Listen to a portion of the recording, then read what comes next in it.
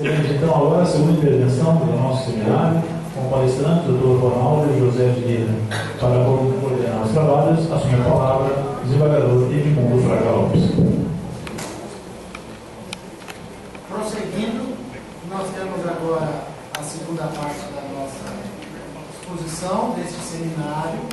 Foi um outro formato também que nós fizemos nos seminários, desse cair da tarde e noite, para que nós pudéssemos otimizar aqueles que saem dos escritórios, saem dos seus afazeres, né? e possam aurir conhecimentos e voltar para os seus lares aí. Então, nós temos feito, faremos vários eventos assim, e o doutor Ronaldo já é nosso parceiro de longa data. O doutor Ronaldo José de Lira é procurador do trabalho do Ministério Público do Trabalho da 15ª Região, sediado em Campinas. O Dr. Ronaldo é organizador do livro Meio Ambiente do Trabalho Aplicado, homenagem aos 10 anos da Codemate, LTR 2013. Autor de artigos e peças jurídicas publicadas com destaque para as coletâneas Meio Ambiente do Trabalho Aplicado, LTR Trabalho Rural, homenagem a Irani Ferrari, segunda edição 2005. Estudos aprofundados do Ministério Público do Trabalho, 2013 Juspódio e revista do Ministério Público do Trabalho. Membro da comissão editorial da revista do MTT desde 2010, membro dos grupos de trabalho responsáveis pela elaboração do anexo 1 da NR 17 e do anexo 4 da NR 16 e do anexo 8 da NR 15. E o doutor Ronaldo José de Lira, ele foi ex-coordenador da CODIM Coordenadoria de Defesa dos Interesses Difusos e Coletivos da Procuradoria Regional do Trabalho em Campinas e ele é o vice-coordenador nacional da CODEMAT, que é a Coordenadoria de Defesa do Meio Ambiente do Trabalho. É um dos nossos expoentes, um dos nossos parceiros, tanto pelo conhecimento quanto pela educação, não é? E, e, e dedicação que ele tem com as causas do trabalho civil. Com a palavra, Sua Excelência, Ronaldo José de Lima.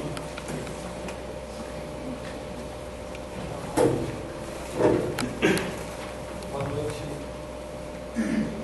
Boa noite a todos e a todas.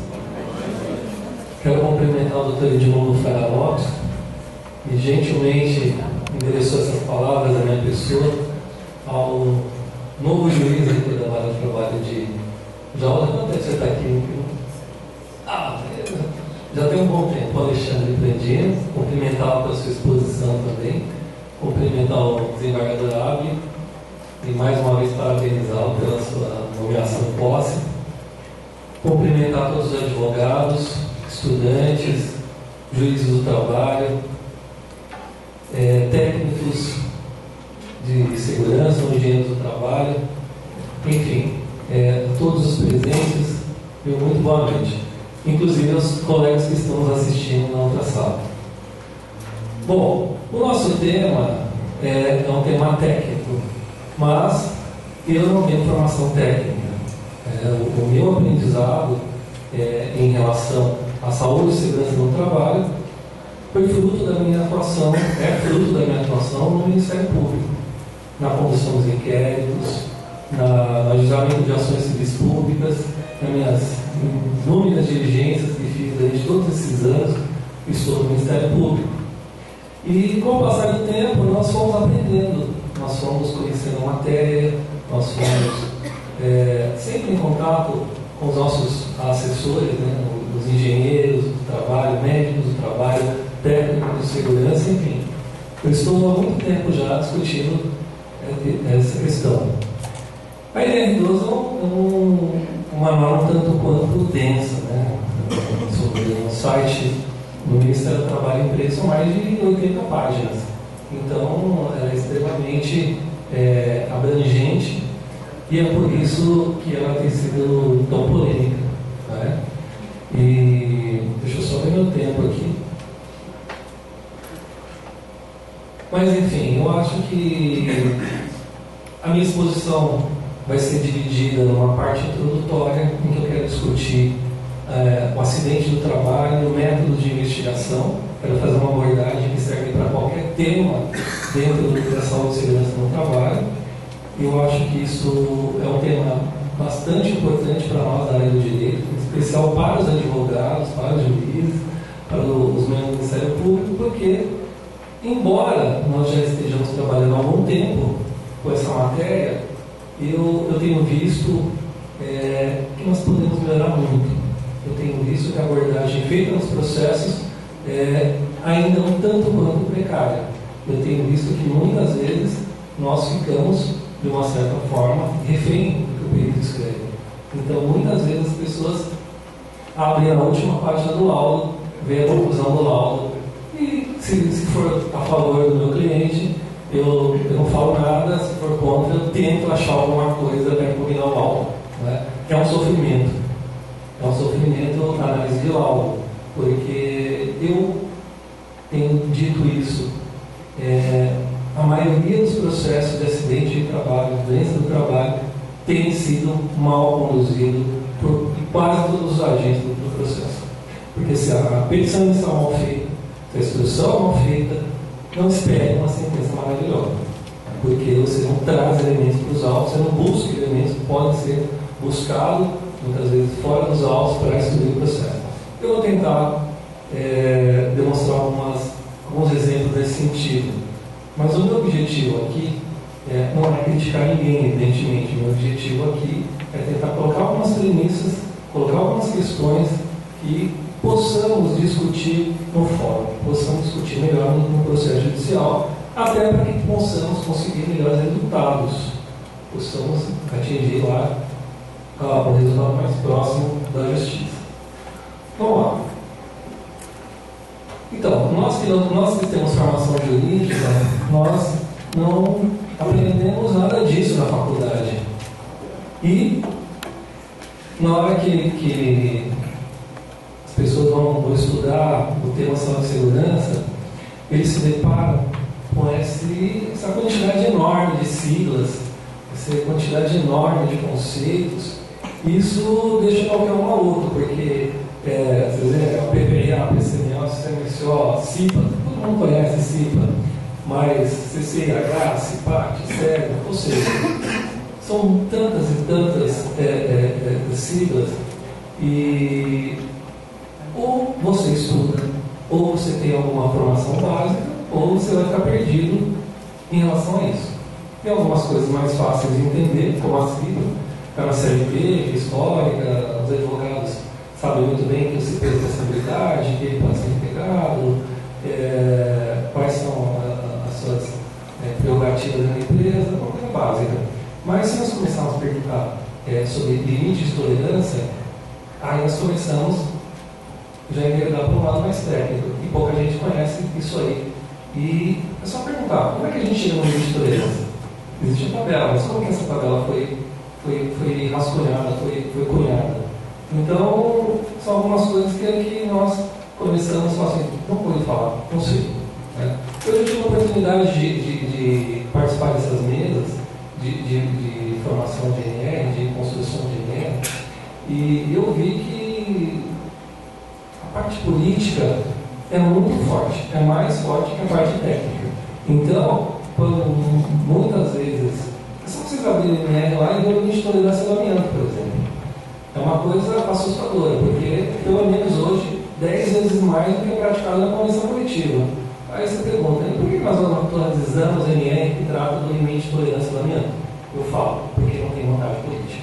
Porque no ano passado, a Codemate, a coordenadoria que eu sou vice-coordenador nacional, fez um requerimento ao ministro do Trabalho, eu e meu colega Felipe Jardim, e nós falamos, é, o Ministério Público defende o banimento do amianto. É totalmente contra a utilização do amianto no Brasil, porque é uma fibra cancerígena. E para uma fibra cancerígena não há limite de segunda exposição. Mas, enquanto nós não chegarmos nesse ponto, é, enquanto nós não se juntarmos aos 50 países do mundo que já dominam o amianto, pelo menos nós reduzamos o limite de tolerância, que é o mínimo possível, como é praticado na convenção coletiva ou seja, 10 vezes menos. Esse pedido está lá no Ministério do Trabalho. no, na primeira reunião que esse assunto foi pautado, a bancada da Crisotila se fez presente e me, me, eu fui extremamente questionado sobre isso. Por que, eu estava interessado em reduzir o limite de tolerância? E, enfim, é, a coisa empacou e está lá no Ministério do Trabalho e nós continuamos com o limite de tolerância alto para amanhã, que é a Crisotila branca. Enfim, o tema é polêmico, o tema saúde e segurança é, é, um, é um, tema apaixonante. É, desde que eu entrei no Ministério Público, estou envolvido com isso. É, logo de cara, eu comecei a estudar cortantes em, em, em hospital. E, e aí eu, eu falei, nossa, existem temas na saúde e segurança que são apaixonantes, né? mas temas que requerem tanto quanto de estudo, tanto quanto de desafios para nós do direito.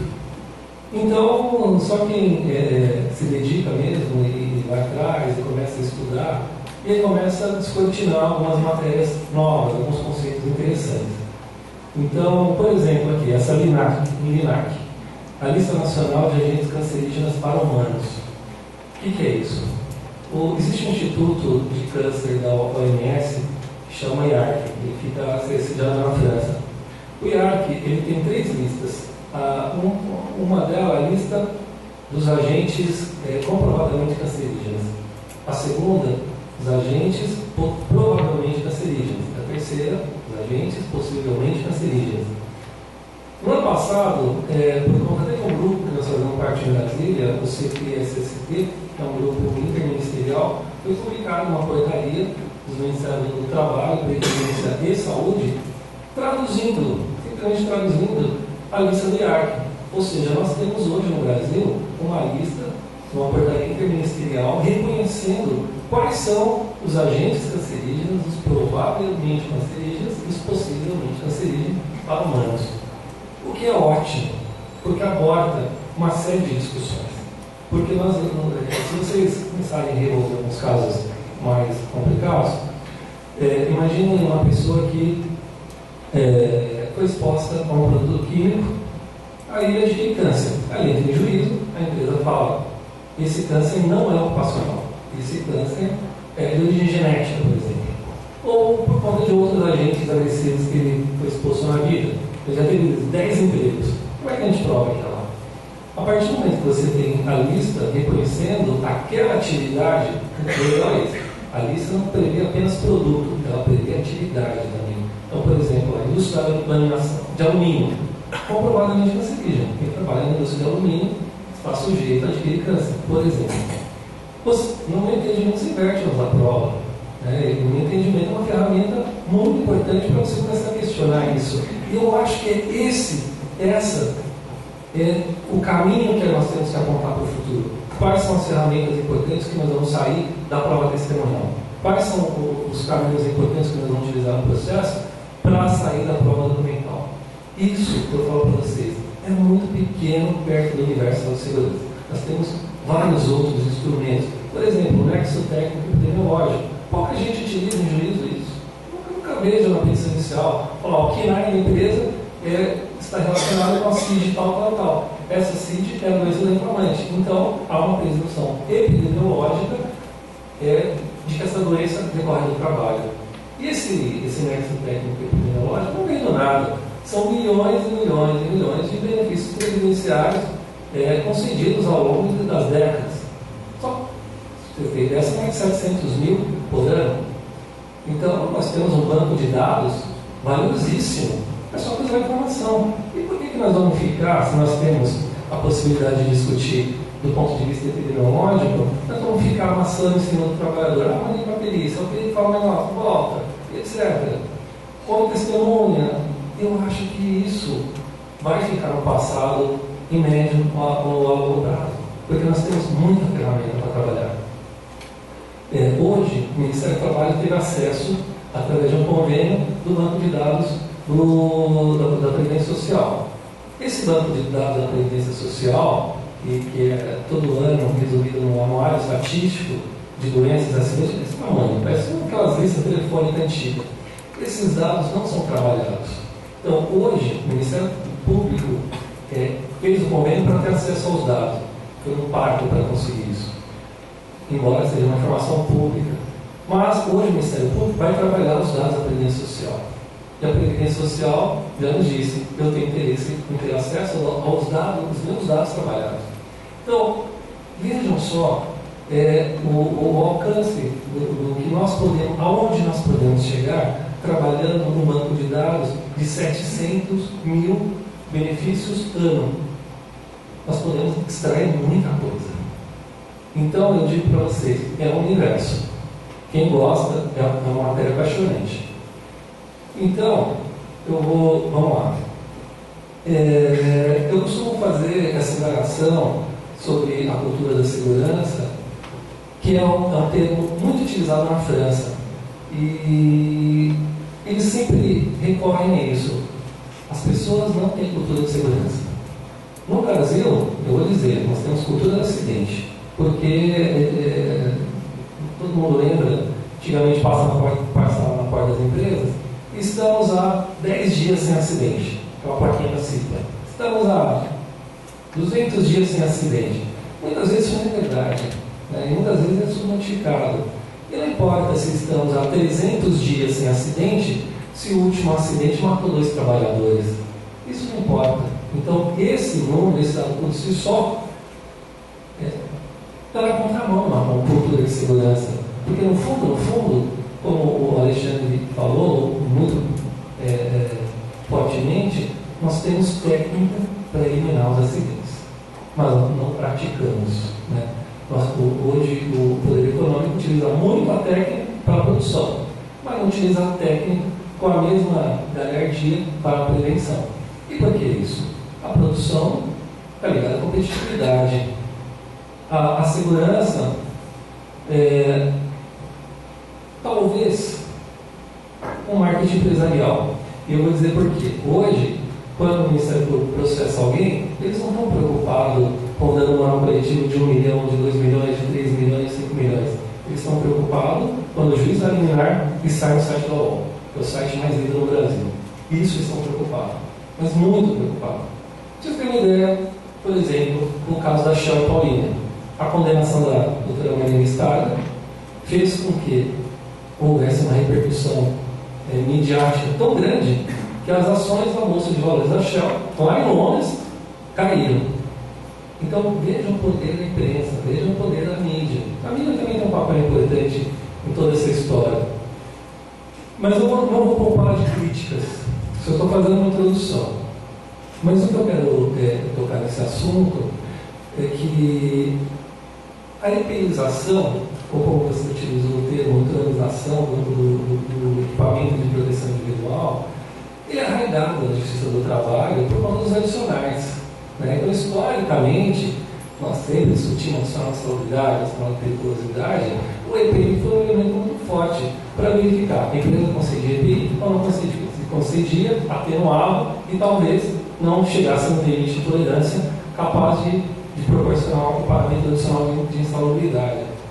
Enfim, essa história do EPI ainda continua tratando-se de acidente e doença do trabalho. E nós esquecemos que o, mais importante não é falar, tem ficha de EPI. No, no, no, nos inquéritos que eu atuei durante muitos anos na minha vida, as empresas dando bolos de EPI. Bolos de EPI. Ou aqueles programas de prevenção que na, na prática muitas vezes não servem para nada. Então, a cultura do papel da saúde e segurança é uma coisa muito presente no Brasil. E nós até atuamos, até assinamos termos de ajustamento de conduta com essas empresas que, que, que vendem consultoria, essas empresas que fazem PPRA, PCMSO, exames médicos, e, e etc. Por quê? Porque é um comércio. É duro falar isso. Mas esse, uma grande parte desses profissionais não tem feito a, a coisa com devida técnica. Tem feito ouvi falar já dos exames médicos que o, o cara senta lá e fala assim, você tem, dá uma olhada no cara, ele está inteiro, ele sobrevive, você está apto para desenvolver atividade. E aí depois desenvolve uma doença, a empresa, ah, vai para existente. Ah, mas por que o ácido admissional ele era apto e agora não é mais. Então, é um, é um ciclo que depois vai caro. Não é? Os PPRA das empresas, você pega de 3, 4, 5 anos, ele não pode ser igual.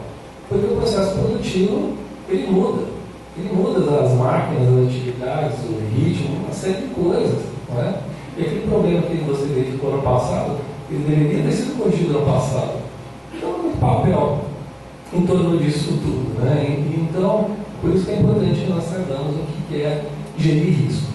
Gerir risco, gerir segurança. Se você fizer uma boa gestão, e para isso requer investimento, requer treinamento, requer pessoas, uma série de coisas, requer técnica. Você consegue eliminar uma grande parte dos riscos. Quando não, 100%. Alguns riscos você consegue eliminar 100%. Né? E aí, a grande questão. Você fornece API, você não faz a gestão de riscos. Vai acontecer acidente. Isso é muito provável. Aconteceu acidente, culpa da vítima. Ah, ele não estava usando EPI. Ou EPI, ou, ou então o EPI estava no pescoço, ou estava não sei aonde. E aí a grande, a grande questão. Aconteceu acidente, a culpa, é, pelo menos nas contestações, é sempre do trabalhador. É, a gente vai ver uma coisa diferente. Né? Ou, como eu já dei, uma fatalidade. Né? Explodiu a caldeira. Trabalhando não era caldeira, estava passando por lá, é uma fatalidade. Né? Ou então foi culpa do caldeireiro mesmo. Enfim. E essa grande, essa grande temática, essa grande eh, metodologia de investigação de acidente de trabalho, que é praticada na Justiça do Trabalho, é um ato inseguro ou uma condição insegura? Né? É um binômio, ou uma coisa ou outra. Não existe é, um, um, terceiro gênero. E muitas vezes, evidentemente, os equipamentos falam, é uma condição insegura, beleza? Um ato inseguro do trabalhador. Mas, o que eu tenho dito por aí que essa análise, essa, é, essa metodologia é muito pobre para que possamos analisar quem é o culpado pelo acidente. Né? Nós temos outros e outros elementos que nós podemos é, utilizar para chegar num, numa verdade real, ou, ou, pelo menos bem mais próximo disso. Então, eu, como eu, eu tinha dito ah, ah, há pouco, as defesas, é, elas acabam se limitando a, levar documentos, né, os EPIs, o PPRA, certidão de treinamento, fala que o reclamante é experiente e foi uma, uma culpa dele, uma fatalidade. Pede para ouvir testemunha para provar a culpa da vítima. E aí o que, que acontece? Né? É, nós temos uma discussão limitada no raio do evento. Nós vamos analisar o acidente só na cena, na fotografia do ambiente de trabalho, nós vamos analisar o acidente, como diz o professor Michel Loury, de uma forma organizacional. Nós vamos analisar o todo da empresa. Vale a pena analisar a empresa como um todo, ou analisar a máquina e o ato do trabalhador. Essa é a grande discussão que eu sempre faço. Né? E essa é a grande discussão que os, o pessoal tem estudado, o pessoal da, da saúde coletiva da USP, o pessoal do fórum lá de Botucatu, o fórum da ciência do trabalho, tem levantado. Essa é um, um, um tema um tanto quanto empolgante. E eu, no Ministério Público, eu sempre trabalho com investigação. Na, nos inquéritos civis, muitas vezes acontece um acidente, fala assim, eu, eu preciso analisar a empresa inteira. Eu preciso verificar como a empresa pratica a gestão de risco e não se ela fornece apenas o equipamento de proteção individual. Aqui é um, é um, um tema fundamental para que possamos analisar o acidente do trabalho, o erro humano. O professor François Bourdieu, também da Universidade de Bordeaux, é, ele, ele, tem um livro que nós traduzimos recentemente, até com verba de TAC, é um, um, um livro interessantíssimo, que chama Acidentes Industriais. E ele analisa o erro humano de uma forma muito interessante. Ele fala que o erro humano é uma, uma explicação insuficiente para a análise dos, dos acidentes.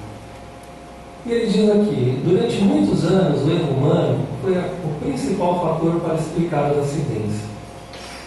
E até hoje no Brasil, até hoje o humano é utilizado para explicar o acidente. E aí, o que é interessante dizer? Evitar situações que geram ou aumentam riscos torna-se uma prioridade na concepção ou na organização desses temas de risco. O que quer dizer isso? Na gestão dos riscos, você tem que antecipar as possíveis falhas humanas para eliminar etapas. Não sei se vocês já ouviram falar aquele do queijo suíço do James. Ele fala: o acidente não acontece por acaso. Existe um desencadeamento de fatores, existe uma sequência de fatores que motivam o acidente. Algumas vezes pode. Qual foi o, o fato determinante do acidente? Fala, foi o comprador que comprou a máquina sem proteção ambiental, por exemplo. Foi o gerente que não investiu no treinamento dos trabalhadores. Porque ele tinha agora na crise, né, todo mundo corta isso, corta aquilo, vamos cortar o treinamento dos trabalhadores, vamos cortar a requalificação da, da máquina nova, enfim. Isso gera acidente. Isso não está no raio do acidente. Isso está fora. Isso está na gestão, está na administração. Essa fotinha lá embaixo é, é uma fotinha da, da comunidade europeia e uma campanha de, que eles fazem desde 2012. Então aí, eu, qual que é o, o, o discurso dele? É todos juntos pela cultura de prevenção.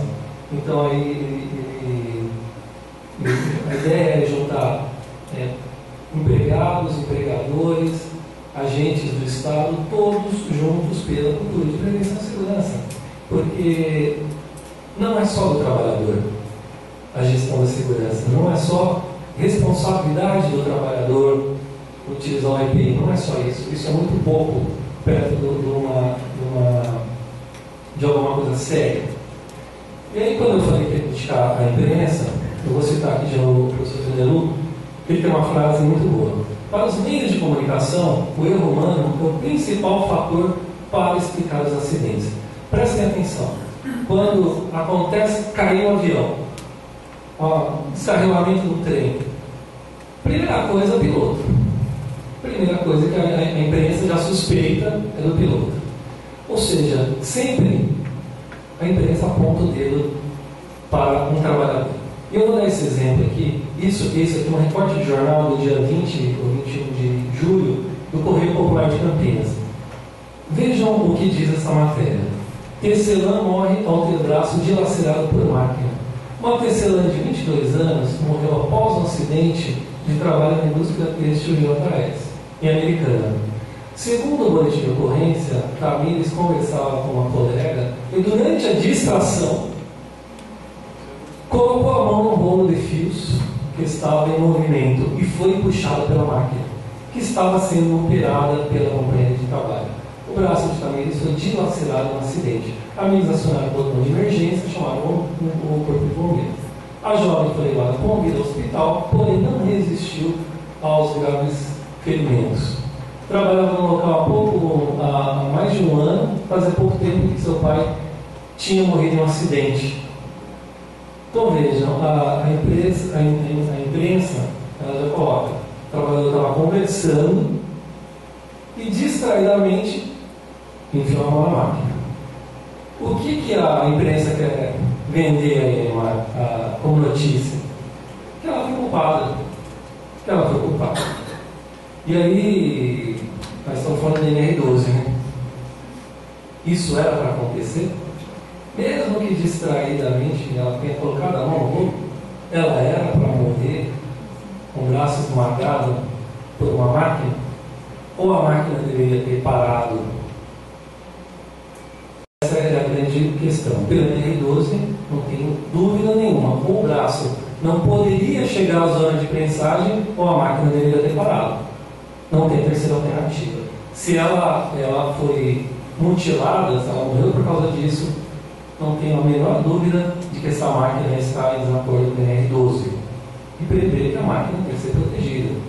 Aliás, antes de existir o NR12, a Convenção 119 da OIT já diz isso, que os países signatários da Convenção, o Brasil é signatário da Convenção 119, tem que é, elaborar legislação de proteção de máquinas.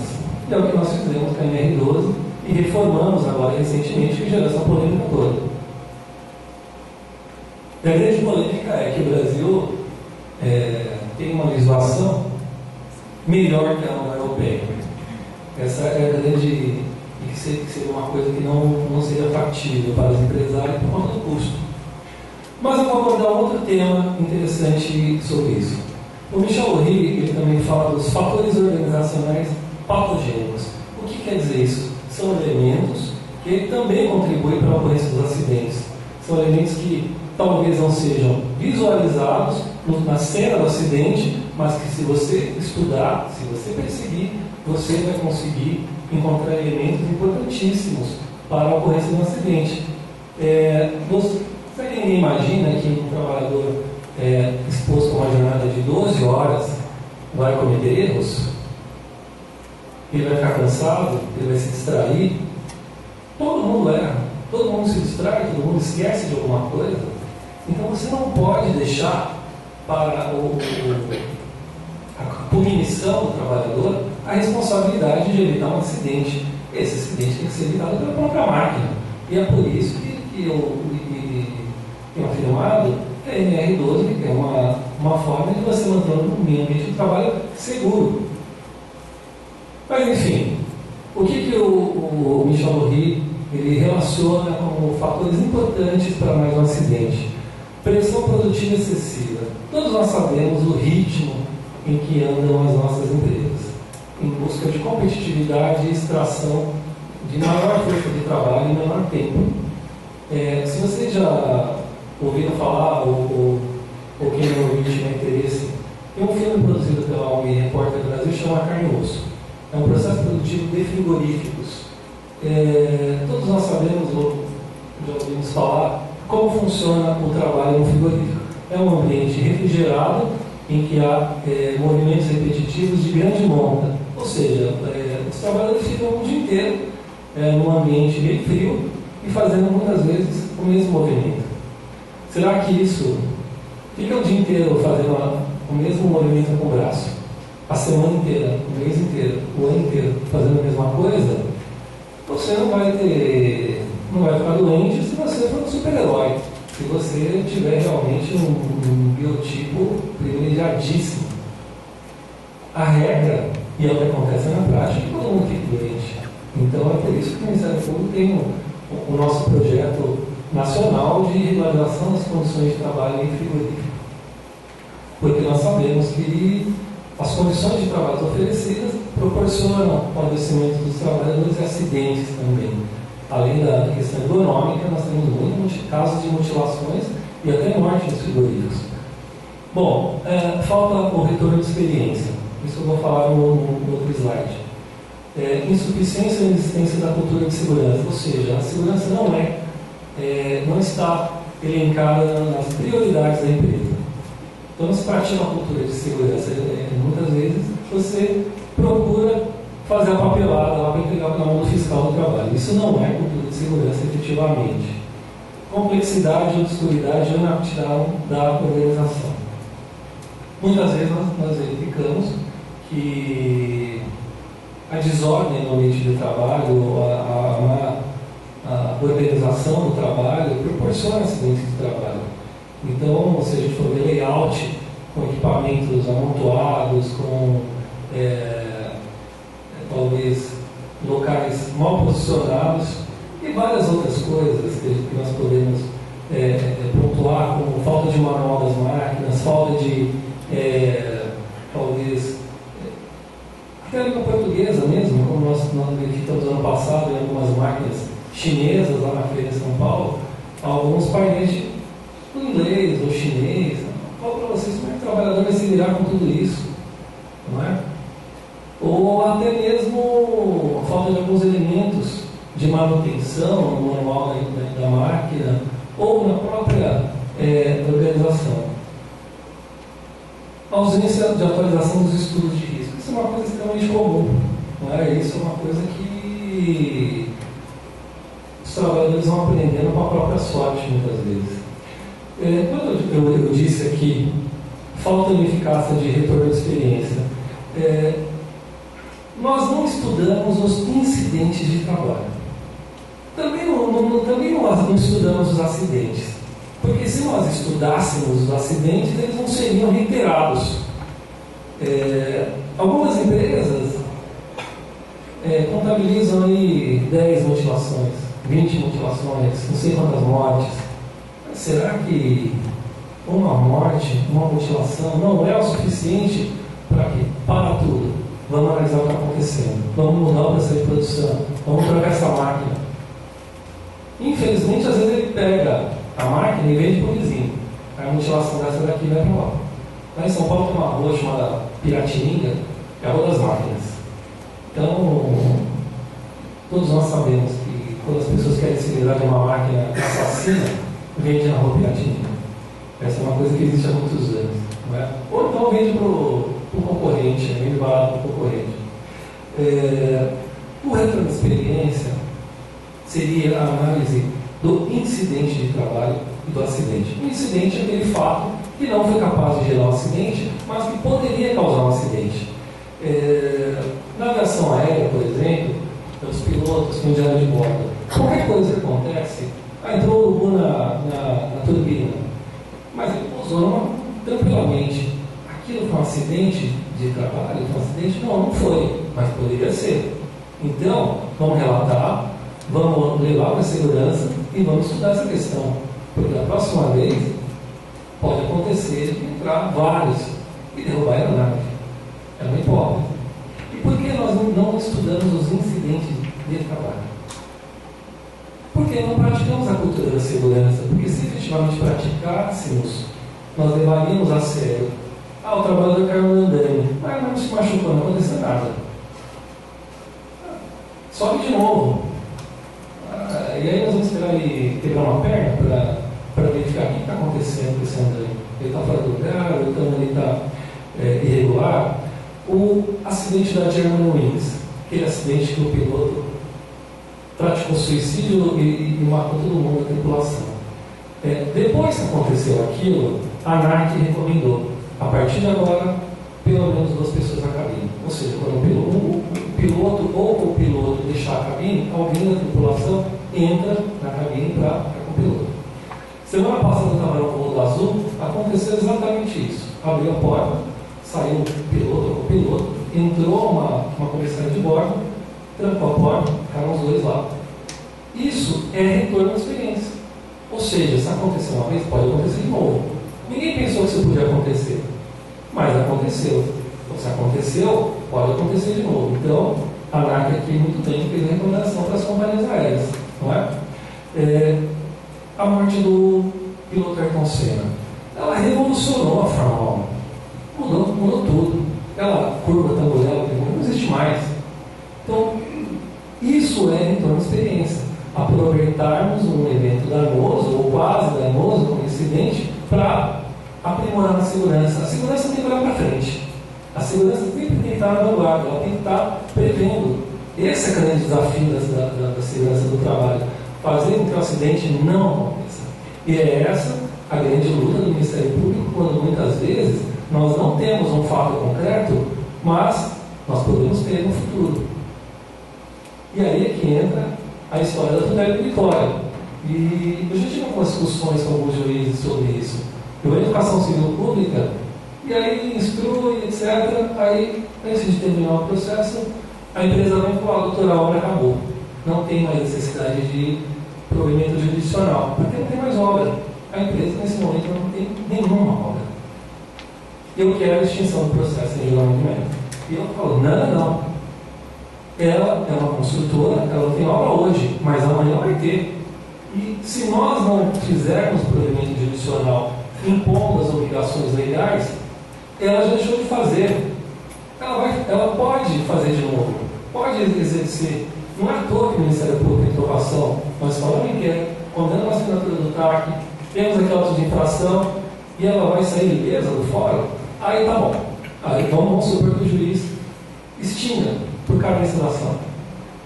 Aí, daqui a dois anos, a empresa monta outro empreendimento com os mesmos problemas, a Ministério Público, a justiça e aí, antes de terminação, a obra termina. Eu falo para vocês, isso não vai ter fim.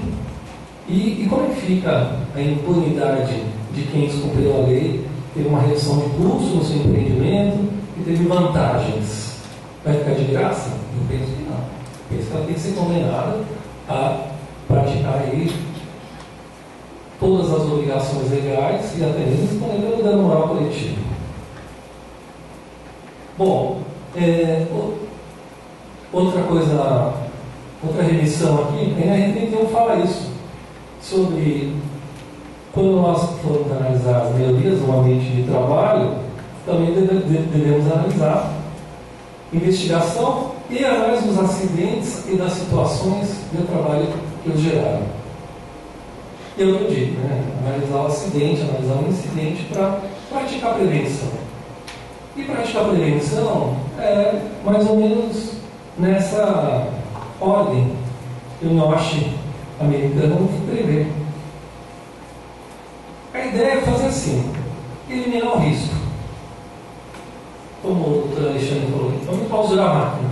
Em clausurar a máquina, o ruído subiu. Nós eliminamos o risco. Ah, mas não é possível fazer isso. Bom, vamos substituir por alguma outra máquina menos, menos, menor ruído. Ou vamos isolar as pessoas, ou seja, tem vários elementos. Nós temos uma, uma sequência. Nós fizemos um planejamento adequado, nós temos várias ideias para tirar a, a, exposição do trabalhador ao risco. Mas se não tiver nada mais para fazer, se não tiver outros elementos, o que, que é o último vermelhinho aí? O último elemento que nós introduzimos, o EPI. E aqui, ao lado esquerdo, é, nós vamos ver a, o grau de efetividade dessas ações. Então vocês vão ver que o EPI na linha vermelha, é o menos efetivo, porque ele é mais sujeito à precariedade. Para vocês terem uma ideia, os trabalhadores, é, muitas vezes eu isso, o trabalhador fica o dia inteiro com a máscara. Fica Aí no final do dia, ele tira a máscara e põe a bancada assim. Aí o que, que acontece no dia seguinte? Todo aquele particulado que está no ambiente de trabalho deposita a máscara. No dia seguinte ele pega a máscara e põe no rosto. Ou seja, ele está levando um dispersóide diretamente nos sinais. Então eu falei efetivo EPI. Não seria melhor a gente fazer um sistema de exaustão adequado para minimizar pelo menos a poluição no ambiente de trabalho? Claro que sim. É, agora você, você, pode me perguntar, como você tira EPI do hospital? Não tira. Não. Temos elementos para organizar melhor o trabalho no hospital, mas é fundamental como uma das medidas. Né? Você não consegue eliminar, por exemplo, a infecção, a infecção não, os micro-organismos no hospital.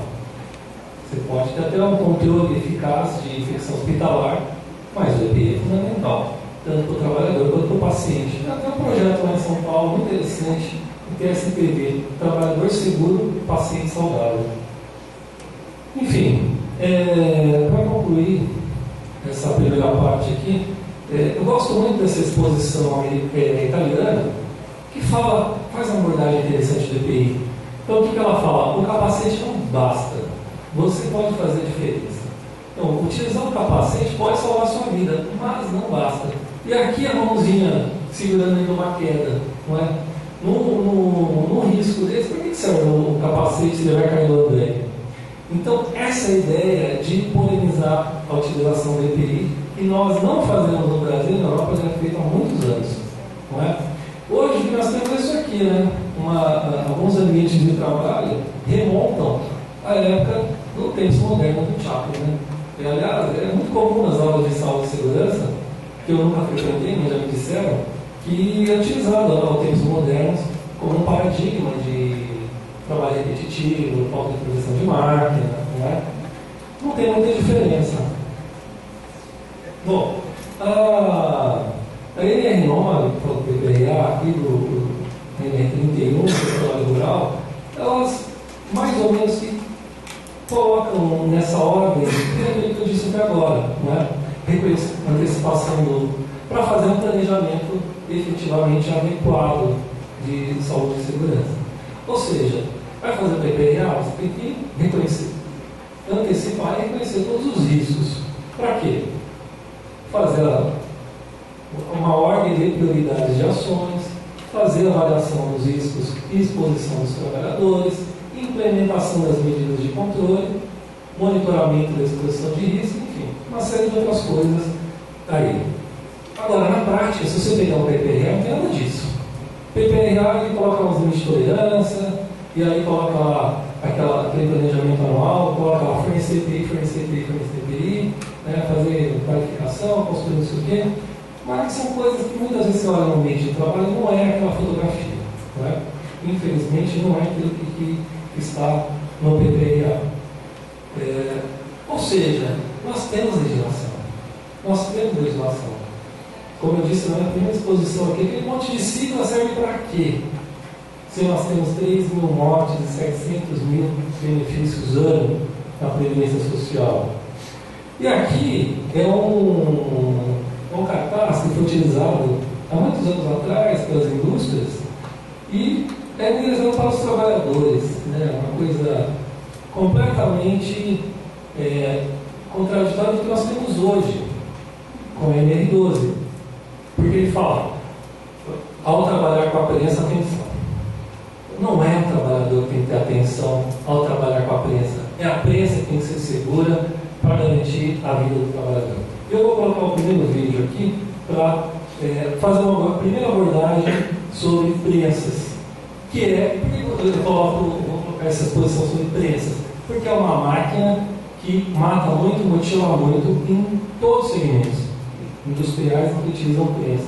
Prensa, principalmente, que vai dizer que a prensa de chaveta, não é segura. Não é? Então, hoje, se nós não tivermos o maquinário de apoio ao PNR12, nós vamos ter acidente. Eu vou colocar essa exposição da fundação.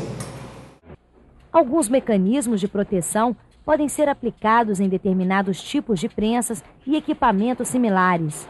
Os sensores fotoelétricos, por exemplo, são modelos bem conhecidos capazes de impedir ou interromper o movimento das máquinas em qualquer ponto de seu curso.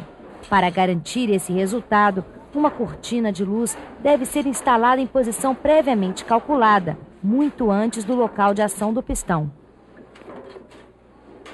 No entanto, esse dispositivo não serve para as prensas do tipo engate de chaveta.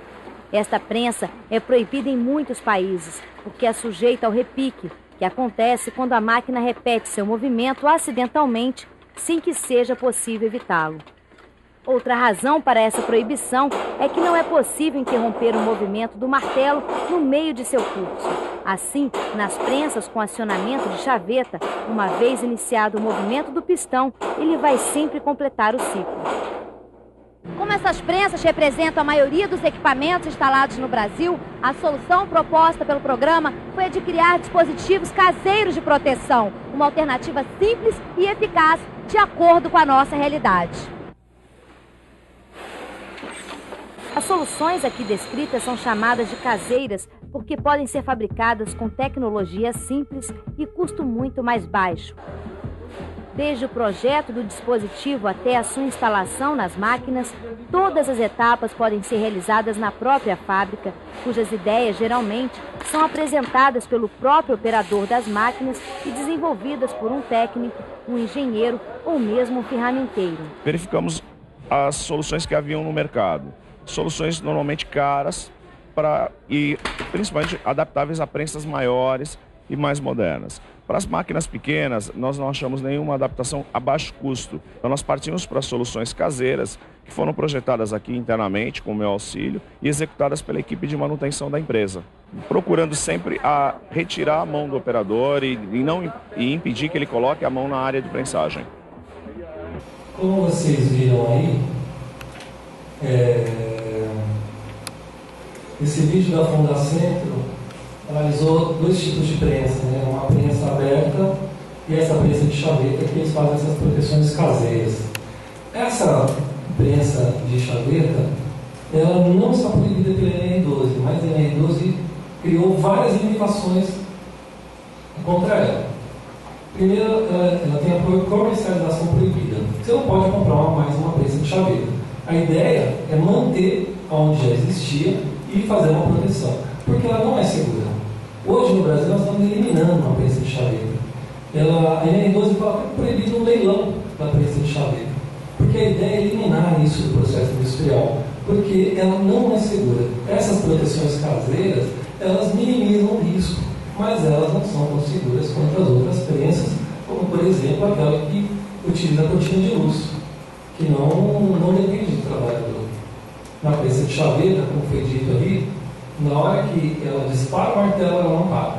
A outra ela para. Então por isso que a, a, as outras pensam, as hidráulicas, as outras são muito mais seguras. Né? Bom, é... então só para complementar a história da, da, investigação de acidente. Né? Então, hoje, a, os termos ato seguro e condição segura são metodologias ultrapassadas. Então, quando vocês verem, por exemplo, um, eventualmente um laudo pericial falando que foi uma condição segura ou um, ato seguro, vocês podem ter certeza que não foi feita uma, uma investigação aprofundada da questão, porque foi feita numa metodologia muito circular ao espectro do, do, do acidente. E tanto é que ela foi é, eliminada, esse tema foi eliminado há algum tempo. E se a gente pegar qualquer doutrina que estuda esse assunto, vai, vai, vai condenar é, veementemente a utilização dessa metodologia. Uma melhor metodologia é, do acidente organizacional é aquilo que eu disse. Nós analisamos a empresa como um todo, analisamos é, numa exposição seguinte, eu vou talvez tentar ser mais claro. Todos os processos que acontecem no ambiente de trabalho para chegar numa possível é, solução para aquele acidente. Isso é, fez com que o Ministério do Trabalho desenvolvesse um guia de análise de acidentes, ou seja, quando acontece uma morte, acontece um acidente grave, o auditor fiscal do trabalho, ele não pode chegar lá investigando de qualquer jeito, ele tem um, um todo um, um percurso a, a, a, fazer na empresa para antes de concluir o acidente. Porque muitas vezes é, algumas pessoas concluem muito rápido.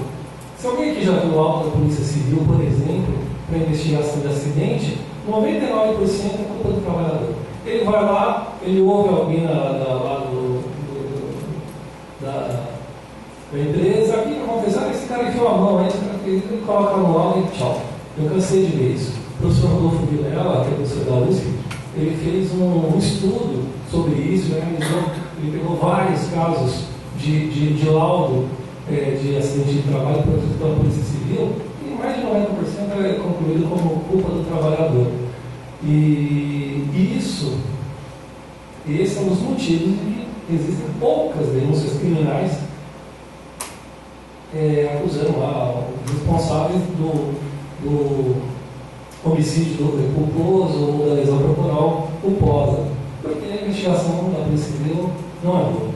Mas o que eu, o que eu quis é, relatar aqui é o seguinte: nos nossos inquéritos, quando nós vamos fazer investigação de, de acidente, nós pegamos as cartas, pegamos a, a, os controles de jornada, livro de inspeção, ata da CIPA, os documentos ambientais, é, os autos de infração do Ministério do Trabalho, os autos de infração do CEREST, verificamos a documentação de treinamento, verificamos a sinalização, análise de mudanças, como o pessoal da USP gosta muito de falar sobre automação do maquinário, as novas máquinas introduzidas no ambiente de trabalho, o turnover, né, a, rotatividade, que é um problema sério, um ambiente perigoso, a escola do trabalhador que não está qualificado, o trabalhador que não tem experiência para manusear uma máquina, enfim.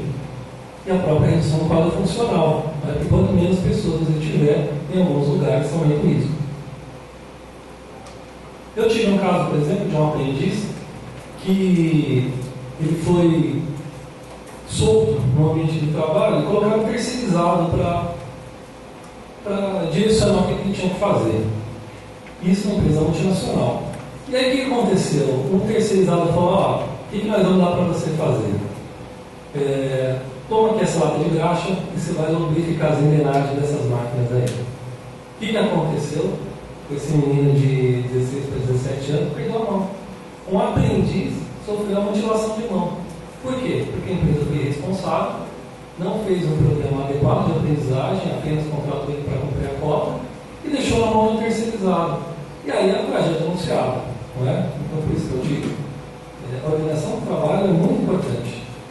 Então, é, olha quanta gente pode investigar no ambiente de trabalho, a CIPA, a própria empresa, o Ministério do Trabalho, a Vigilância Sanitária, o Ministério Público, o Corpo de Bombeiros, há um incêndio, é, o IPT, quando há um desastre numa construção, Polícia Civil, que é, a grande maioria das vezes os autos não servem para nada, mas pode acontecer, de algo interessante, e investigação do Ministério Público Estadual. Agora, quando os advogados vão entrar ação, eles não vão a lugar nenhum desse aqui, ou trabalhador de distribuição. E eu tenho falado para as pessoas, aquelas sessões de julgamento no tribunal, o pessoal batendo a cabeça, um advogado fala que a empresa é maravilhosa, outro fala que é péssima. E aí eu me lembro, opa, mas essa empresa aqui eu conheço no Ministério Público. Aí eu entro no meu computador e falo assim, mas essa empresa tem ação civil pública. Se ela tem ação civil pública, ela tem auto inflação, ela tem várias outras coisas. Né? E muitas vezes eu falo lá durante a sessão de julgamento, ó, essa empresa não é isso que está sendo colocado no tribunal, porque eu tenho elementos suficientes investigados no Ministério Público que ela tem várias outras coisas. Então, eu até aconselho os advogados que tiverem interesse, antes de avisar uma ação dessa, volta ao Ministério Público, faz uma busca. Tem, tem inquérito nessa empresa? Deixa eu olhar no inquérito. Pensão civil público?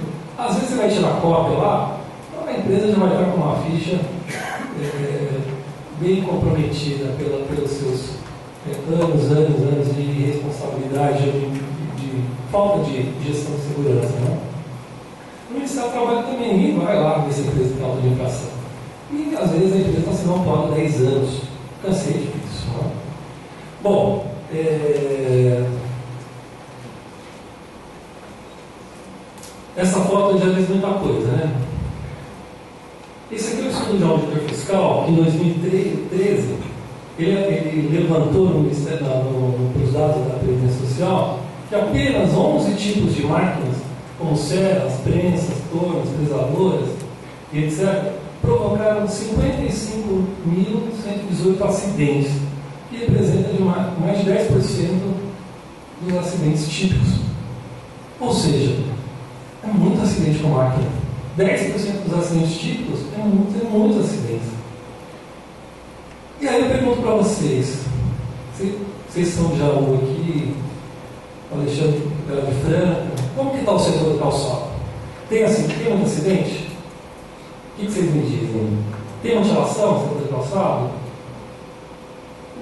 Eu não sei também, eu não sou dessa, dessa região, acho que Campinas não tem música calçadista. Mas eu trago um vídeo aqui que talvez vai é, nos ajudar. Uma realidade alarmante. A cada dia, mais de 1.300 brasileiros sofrem algum tipo de acidente de trabalho. O Domingo Espetacular conheceu o drama dos funcionários de uma fábrica de calçados na Bahia. Eles sofreram mutilações durante o serviço.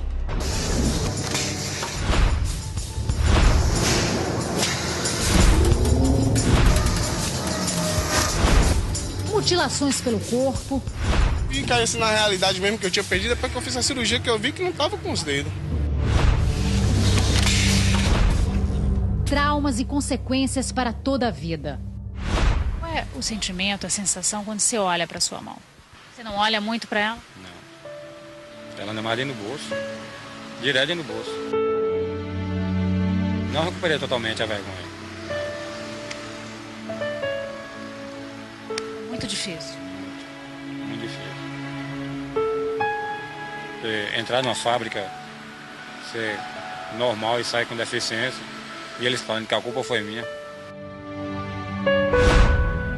O Domingo Espetacular foi até a cidade de Tapetinga, no interior da Bahia, apurar uma denúncia estarrecedora.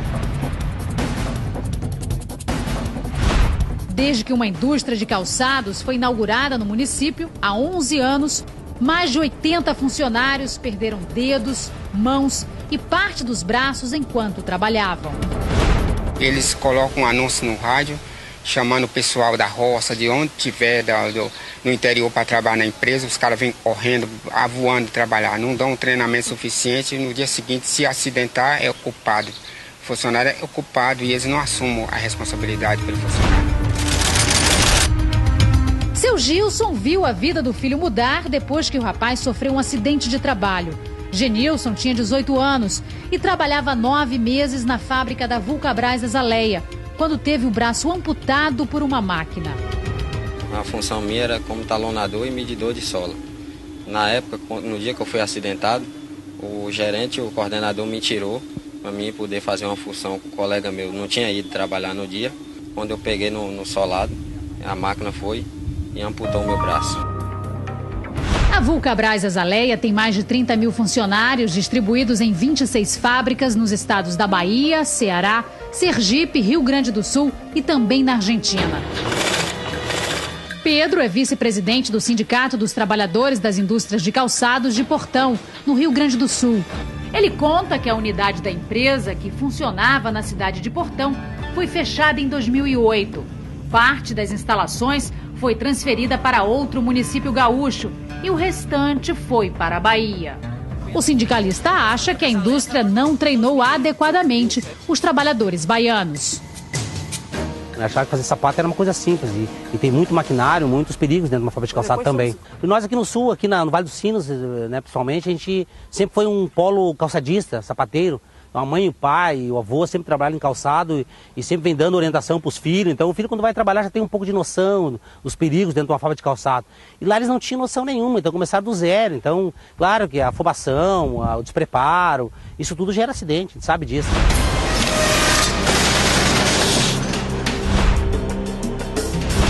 Este promotor do Ministério do Trabalho explica que muitas empresas de calçados migraram para a região Nordeste, atraídas por programas de redução de impostos e oferta de mão de obra. Na década de 90 para cá, houve uma expansão bastante acelerada de indústrias na região do Nordeste, né, e na Bahia em especial. E essas indústrias, né, muitas delas são do setor calçadista. Então, essas indústrias vieram para a região Nordeste né, atraídas por incentivos fiscais. Genilson não parou de trabalhar. Apesar do trauma e das limitações por causa do acidente, ele continua na mesma empresa. Você trabalha com máquina hoje em dia? Hoje não, mas tem poucos meses que eu parei de trabalhar com máquina. Eu trabalhei oito meses com máquina depois que eu retornei para a empresa. O coordenador ameaçando, tinha que dar a produção do mesmo jeito que os outros funcionários davam, não estava nem aí. No dia que eu falava que eu não ia fazer a função, eles me davam a suspensão e me botavam para vir para casa. Este diretor da Associação Brasileira da Segurança do Trabalho explica que existem regras rígidas que a empresa deve seguir para reintegrar o funcionário acidentado. Ele pode voltar para a mesma atividade, para as mesmas funções, para mesmo, mesmo, o mesmo local do trabalho, quando ele tem condições de voltar a desenvolver as mesmas atividades, é de responsabilidade da empresa garantir que este ambiente de trabalho, que as condições de trabalho sejam favoráveis para que ele possa desenvolvê-lo num ambiente seguro, em que não seja um ambiente que possa gerar ou possa contribuir para que se gere um acidente, uma doença do trabalho. O processo de Genilson está na justiça. Até agora, ele não recebeu qualquer tipo de indenização. O advogado da empresa alega que foi eu que coloquei meu braço lá dentro da máquina porque eu quis, atrás de indenização. Agora imagine aí se uma pessoa vai querer meter o braço lá dentro da máquina para ficar pro resto da vida mutilado, sabendo que é uma coisa que vai perder e não vai voltar mais nunca. Dificilmente alguém quer colocar uma mão ou quer perder uma mão para ficar encostado, como eles dizem, né, para pela previdência social. Isso é um absurdo que muitos ainda pensem nesse sentido.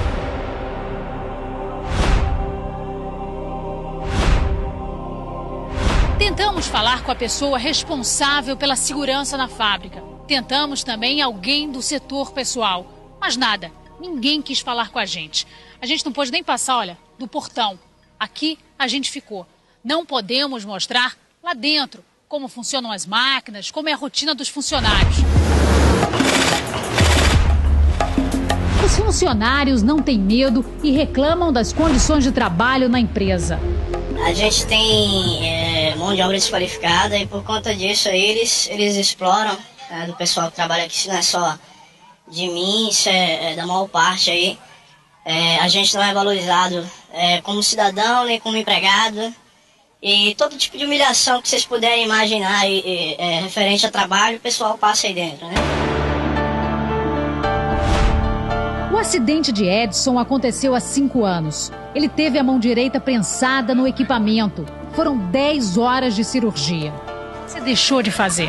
Eu fazia coisa em casa, né? Porque hoje eu moro só com meus pais, entendeu? Eu lavava uma roupa, entendeu? Arrumava uma casa. E hoje eu não consigo fazer isso. Por quê? Por causa da mão. Consegue mais fazer? Não. Mal, mal escrever. Triste. Triste, é. Pelo que eu fiz e hoje a empresa não reconheceu. As queixas se repetem em todos os casos de acidente que aconteceram dentro da fábrica. Falta de treinamento, pressão psicológica, problemas com a segurança dos equipamentos e até falhas no atendimento médico. Eles mandaram eu dar uma manutenção numa máquina, só que eu não tinha experiência, né? Aí chegou lá, aí eles falaram que eu falei que não ia, porque estava no horário de almoço. Falaram, ah, você tem que ir, que você é mecânico. Aí o cara chegou e falou que ia ligar para o meu gerente geral. Aí o que aconteceu? Chegou lá, eu fui. Só que aí as máquinas estavam cheias de corrente, estavam uns cabos de aço. Aí eu peguei e quando eu fui tirar, ela desceu de vez. Aí foi mais ou menos uma hora e meia, duas horas para me atender, até eu levar ao hospital Itabuna. Agonia contada no relógio. O acidente acontece em frações de segundos, mas a dor, o desespero e a angústia se prolongam para sempre. Cleverton não esquece o dia em que ficou com a mão presa na máquina e perdeu os dedos. Tava esmagando minha mão já. Incompetência do pessoal que estava na hora do acidente. Competência deles. Tava esmagando minha mão. Ninguém conseguia tirar? Ninguém. Eu mesmo que levantei, levantei da máquina e dei ideia como é que podia sair. Eles pegaram e fizeram isso aí. Eu consegui sair. O braço de Hércules ficou preso num equipamento por mais de meia hora. Desde o acidente, ele teve que reaprender a fazer muitas atividades. Escrevia com a mão direita. Com a mão direita. Eu era destro, agora fiquei canhoto. É um pouco complicado, né? Porque a gente, assim, nasceu com os dois membros, né? E depois chega um certo tempo, assim, novo, né? 19 anos, né? Aí é complicado, assim, pra gente, né? Porque a gente novo e perde um membro, aí tem pra sociedade mesmo, assim, o modo de vida, assim, é, é outro, né?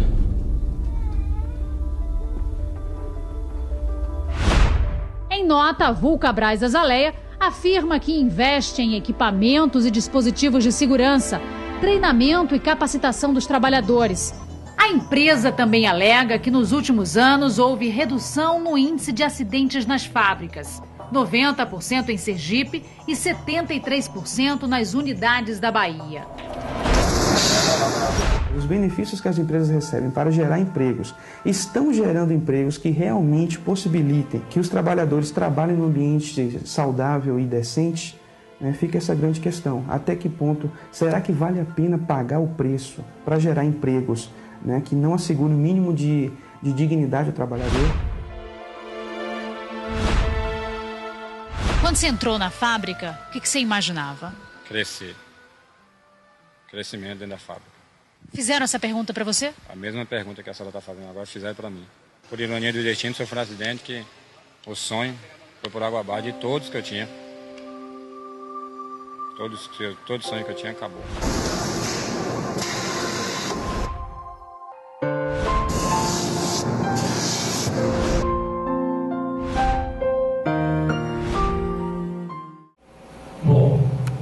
Acho que esse filme ele monta vários conceitos que nós conversamos aqui. Vocês viram que muitas vezes lá foi colocado pelos trabalhadores que são leigos, né? falta de treinamento, por fazer atividade que não sabia, ou seja, a organização do trabalho, sem contar a questão da segurança da máquina. Né? E é por isso que nós temos defendido aí com unhas e dentes a, a NR12. Né? E Vou fazer um, breve relato aqui da parte legislativa, ou seja, na CNT tem alguns dispositivos relacionados à segurança de máquinas, né, que pouca gente lembra que existe, né, eu sempre vamos focar na NRR, mas é, a CNT existe e está em vigor. A NR12 tem, é muito comprida, como eu já disse, então tem vários dispositivos aí que protegem a máquina, ou pelo menos que rezam né, na profissão, até a questão de ergonomia, é, sinalização, manuais, como eu disse aqui, a, a, questão da fabricação, importação, leilão, tudo isso é regulamentado no NR12. E, além disso, ela os anexos. Né? Um dos anexos é o, o anexo 10, que fala de máquinas para fabricação de calçados e afins. Então, se vocês abrirem lá no anexo 10 e 12, não falta de um balancinho. É uma, uma máquina é, bem utilizada, muito utilizada no do calçado, em que há lá previsão de alguns requisitos, como por exemplo, enclausuramento de, de, de partes móveis, enclausuramento de motor, né? e não apenas né, enclausuramento superficial que você vai tirar com a mão a proteção. Ou seja, esse tipo de proteção tem que ser feita com parafusos, você não tem que, é, pode facilmente retirar essa proteção. Mas, eu fiz um resuminho aqui de tudo isso é, para dizer o seguinte, o que é importante aqui, não, nesse segmento, da NR12. Então, como na esteira do que foi dito no filme das mutilações, as partes perigosas, prensa ao porte o sistema de, de, de transmissão, ou seja, correias, polias e correntes. Essas partes perigosas são partes que mutilam efetivamente. É, são partes que a NR12 estabelece medidas de proteção. Além disso, a parte elétrica, o aterramento da máquina, o isolamento das partes energizadas, ou seja, toda aquela questão que até falo em NR10, propriamente eh, de uma forma mais intensa, é importante para que seja, tenhamos uma máquina segura. E ainda com as partes quentes. As partes quentes podem queimar. Né? Então, esses são os três elementos aí, principais que eu elenco aqui para, o nosso segmento, da, que são importantes para a NR12. E aí as medidas de proteção. Aquilo que for perigoso, ou ele tem que ser fechado, enclausurado, ou ter um sistema de intertravamento ou cortina de luz. Igual aquele, semelhante àquele do filme da, da Centro, não é? Ou você não consegue o acesso à parte que vai fazer a mensagem, ou então, se a máquina é aberta, que haja um, dispositivo de intertravamento ou cortina de luz. Vou dar um exemplo doméstico sobre esse assunto. A máquina de lavar roupa. Na hora que você abre a tampa, a máquina para, não é? Aquilo é um sistema de quê? Para evitar que uma criança enfie o braço ali, ou mesmo um adulto, e, e seja é. Né? A cortina de luz é aquilo que nós vimos no filme da Fundacentro. Não é? É, é, um, é um sistema é, bem moderno, em que é um, um sensor em que trava a máquina imediatamente à, à exposição.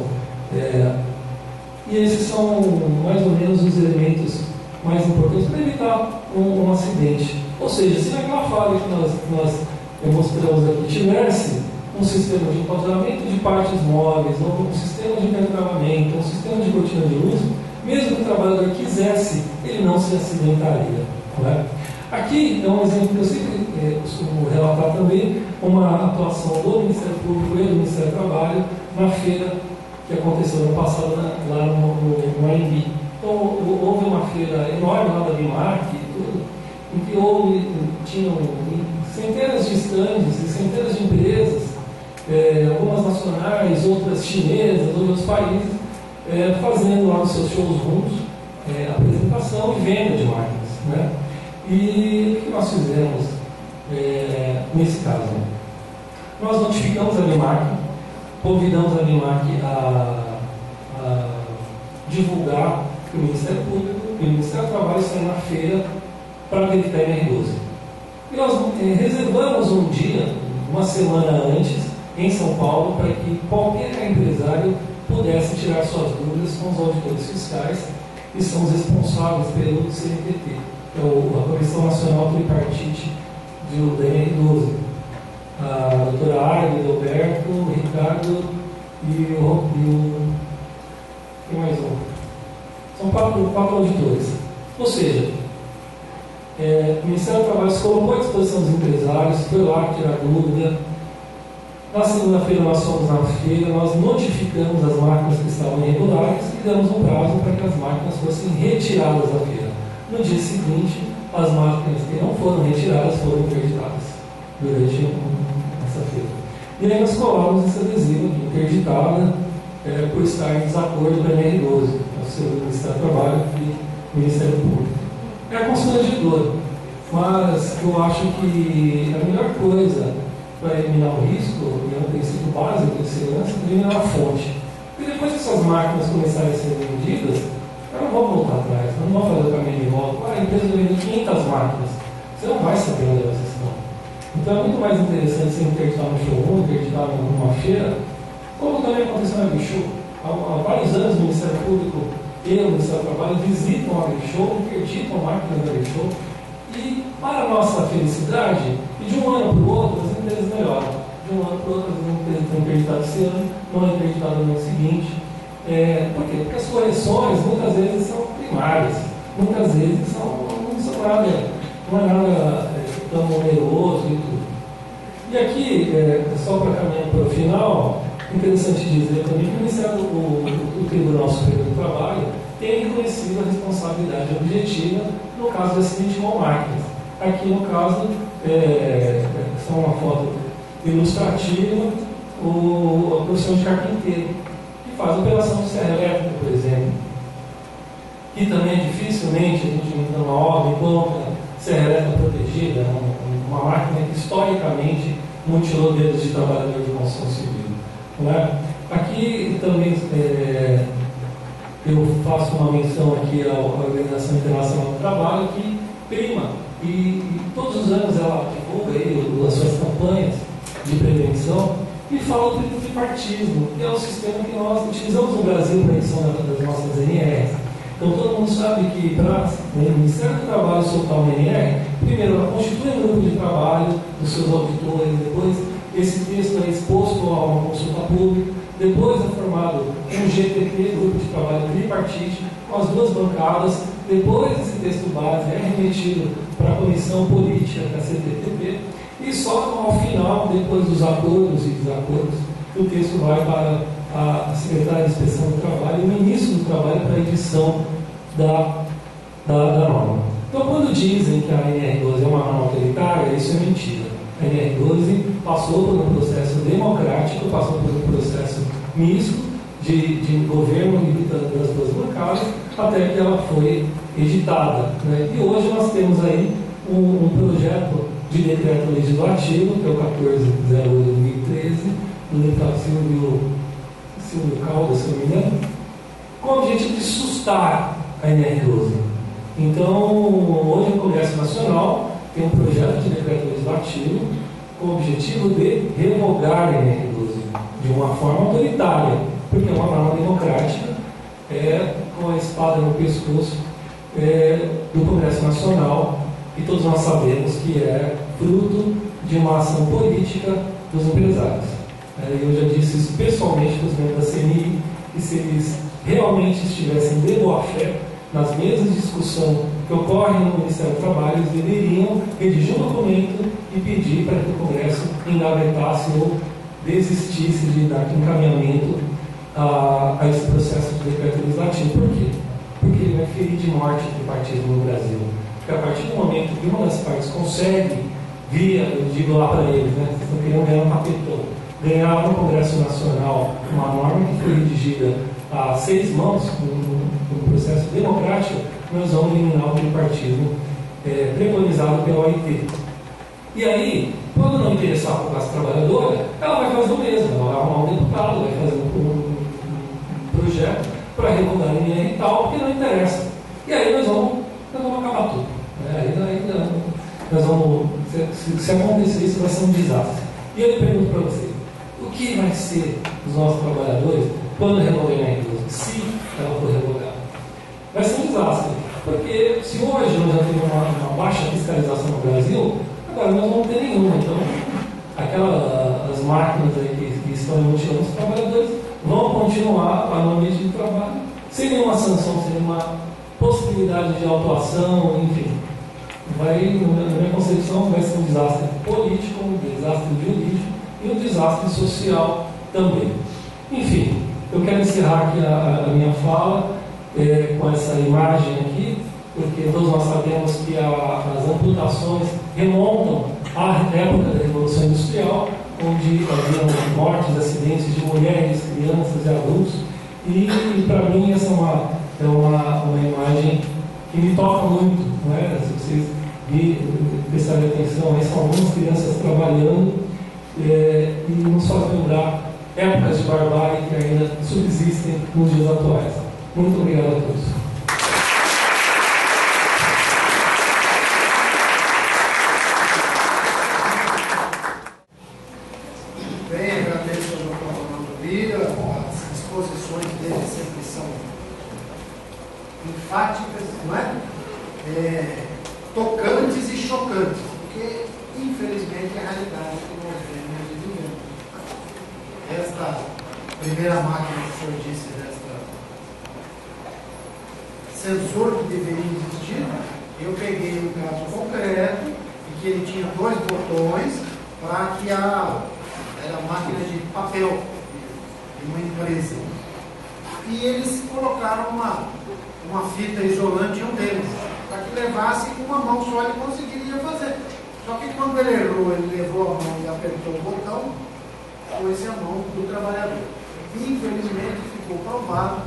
superior sabia daquilo e todos os demais.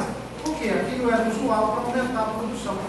Então, é isso que a gente sabe. Eu não sei se o dono da empresa estava sabendo, mas os propostos todos lá estavam sabendo. Então, a gente precisa, com isso, é, é, conscientizar a todos que nós estamos juntos, né? que nós precisamos, trabalhadores e, e, e empresas, construir uma nação ética nação justa, uma nação que seja boa para todos, para os nossos filhos, para os nossos descendentes, e que possamos viver em harmonia e união. Né? Muito obrigado pela. Roberto, mas está aqui. Tá Roberto, mas... Que eu não entreguei, você está olhando. Lembrança. Muito obrigado.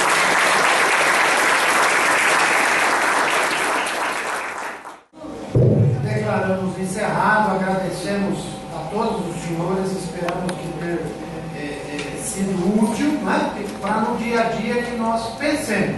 Né? Eu sempre disse também, do meu tempo que eu fui advogado, durante 25 anos, é, eu tinha saído na porta do meu escritório, do meu, dos, dos meus gabinetes. Consulte um advogado para não ter que contratar. Então, além do técnico de segurança, dos engenheiros, ouça também um advogado. Muitas vezes ele vai dizer, olha, a empresa faça isso, são esses equipamentos, isso é mais barato, e vocês façam essa, essa parceria, ouçam, né, para que não, isso não saia mais caro. Então, agradecendo a presença de todos os senhores, doutor Abel representando os embargadores doutor Maurício, representando os juízes, né? que o senhor não foi citado no início, mas está aí desde o primeiro grau, e agradecendo também o doutor Alexandre, nosso parceiro, o doutor Ronaldo Lira, que gentilmente se deslocaram aqui, e a vigésima subseção da OAB, que gentilmente cedeu os espaços e essas instalações aqui para o nosso evento. Tão logo ele seja ampliado, voltaremos aqui para a inauguração. É isso? Muito obrigado, boa noite.